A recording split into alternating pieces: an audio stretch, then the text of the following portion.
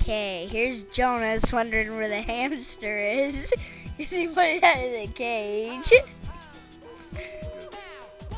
There's Jacob, down some bots.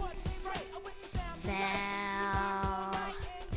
Shows my hamster. I do a little hamster. And also, is my voice right?